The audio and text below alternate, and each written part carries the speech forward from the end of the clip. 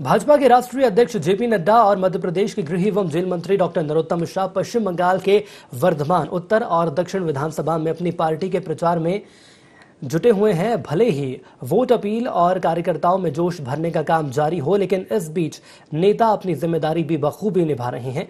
Road show के दौरान अचानक एक एंबुलेंस के रास्ते में आने पर रैली रुकवाकर जेपी नड्डा और मंत्री डॉक्टर नरोत्तम मिश्रा ने एंबुलेंस को रास्ता दिया।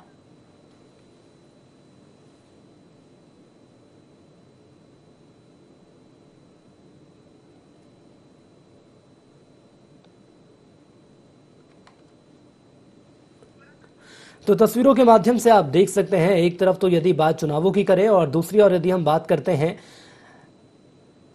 मध्य प्रदेश के गृह एवं जेल मंत्री डॉक्टर नरोत्तम मिश्रा की तो चुनावी प्रचार लगातार किया जा रहा है, लेकिन रोड शो भी यहाँ पर किया जा रहा था।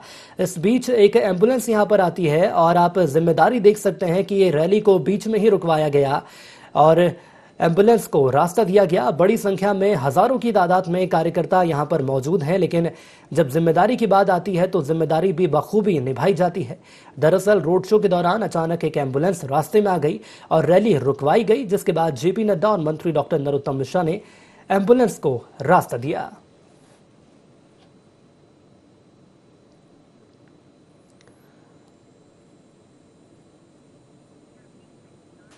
तो रोड शो जिसे रोका गया था, एंबुलेंस को रास्ता दिया गया। रोड शो के बीच भीड़ में एक एंबुलेंस फंस गई थी जिसे रास्ता दिया है। और आपको बता दें कि एक बड़ा रोड शो यहाँ पर किया जा रहा था। हज़ारों की तादाद में कार्यकर्ता यहाँ पर मौजूद थे।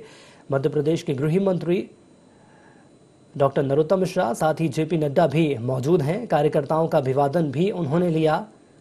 और जैसे ही इस बात की जानकारी मिली कि एंबुलेंस रास्ते में फंस गई है जिसे रैली रुकवाकर एंबुलेंस को रास्ता भी दिया गया।